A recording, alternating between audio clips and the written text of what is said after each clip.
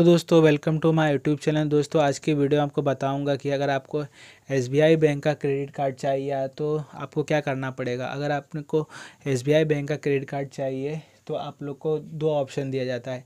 या तो आपकी सैलरी अच्छी खासी होनी चाहिए, तीस पैंतीस हज़ार के ऊपर, या फिर आपको अगर क्रेडिट कार्ड चाहिए तो आपको अपने एफडी के अगेंस्ट लेना पड़ेगा। समझ लीजिए, आपको तीस हज़ार की एफडी है तो उसके अगेंस्ट आप ले सकते हो क्रेडिट कार्ड लेकिन दोस्तों अब क्रेडिट कार्ड में कितनी लिमिट मिलेगी?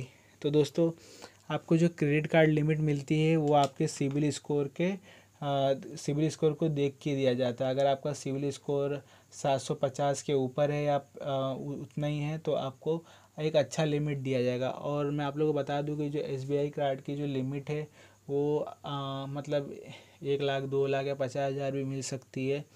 और दोस्तों आप लोगों को बता दूँ कि ज़्यादा करके लिमिट जो मिलती है लोगों को, चालीस हज़ार, पचास हज़ार, साठ हज़ार तक के अंदर दी जाती है। कम से कम लिमिट दिया जाता है।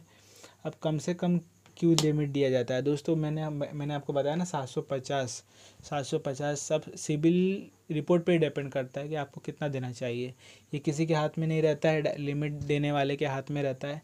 तो दोस्तों, मैं आप लोगों को बता दूँ कि क्रेडिट कार्ड का बिल जो है, टाइम टू टाइम भरिए, नहीं तो आपके वो सिविल स्कोर उससे डाउन हो सकता है।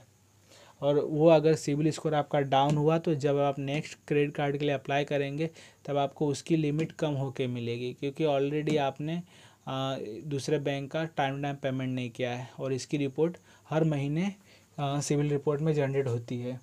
दोस्तों आप लोग को बता दूँ कि अगर आपके पास एक क्रेडिट कार्ड एक एक एसबीआई का कार्ड है और एक फिर दूसरी भी लेना चाहते हो तीसरी भी लेना चाहते हो तो आप लोग को बता दूँ कि सारे क्रेडिट कार्ड का बेनिफिट अलग अलग होता है। और कभी कभी क्या होता है कि एक एक एसबीआई कार्ड का लिमिट दूसरे कार्ड में लिमिट ऐड हो जाता है। समझ लीजिए कि आपने एक कार्ड लिया ए करके, ठीक है? ए करके कार्ड लिया, ठीक है? अब बी करके कार्ड लिया आपने, ठीक है? और सी करके एक कार्ड लिया, ठीक है? आपके पास एक कार्ड था, उसके बाद क्या किया आपने? बी कार्ड भी ले लिया। तो समझ लीजिए, एक कार्ड में आपका पचास हज़ार बैलेंस है, ठीक है? तो अभी आपने बी कार्ड ले लिया तो आपको पच्चीस में हो जाएगा। और पच्चीस इसमें हो जाएगा। तो मतलब कि दोनों डिवाइड हो जाएँगे। पच्चीस पच्चीस दोनों में लिमिट आ जाएगी। लेकिन दोस्तों, मैं आप लोग को बता दूँ, अगर टाटा टाटा क्रोमा का क्रेडिट कार्ड लेते हो तो अगर इसमें पचास हज़ार आपको लिमिट मिलता है ना तो इसमें आपके पचास हज़ार लिमिट रहेंगे। लेकिन अगर आप नॉर्मली मतलब दो कार्ड लेते हो खुद एसबीआई बैंक का तो उसमें थोड़ा सा आपका बैलेंस डिवाइड हो सकता है। लेकिन अगर आप टाटा क्रोमा का कार्ड लेते हो तो आपको कोई दिक्कत नहीं होगी। तो दोस्तों, इस वीडियो में मेरा ये वीडियो बनाने का यही मतलब था कि आपको एसबीआई क्रेडिट कार्ड बहुत आसानी से मिल सकता है अगर आप ये चीज़ों को फॉलो करें।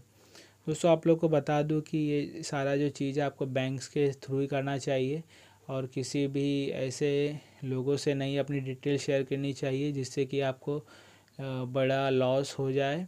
तो आपको अगर चाहिए तो आप बैंक में जाके विज़िट कर सकते हो। बैंक वाले आपके अच्छे से मदद करेंगे। अगर आप एक सैलरी पर्सन हो तो सैलरी पर्सन को भी S B I credit card offer होता है और एक आप बिज़नेस मैन हो तो बिज़नेस मैन को भी ऑफ़र होता है। उनको बैंक का सॉरी, इनकम प्रूफ दिखाना पड़ता है आई टी आर वो दिखाना पड़ता है। अगर उनका पाँच छः लाख तलक का है इनकम तो उनको जल्द से जल्दी क्रेडिट कार्ड मिल जाएगा। तो दोस्तों नेक्स्ट वीडियो में आपको बताऊँगा न्यू क्रेडिट कार्ड के रिलेटेड डिटेल तो आप लोग ने चैनल को सब्सक्राइब नहीं किया तो दोस्तों सब्सक्राइब कर लीजिए हमारे चैनल को और बेल आइकन दबा दे देना ताकि हमारी इन्फॉर्मेशन आप तक पहुँचते रहे।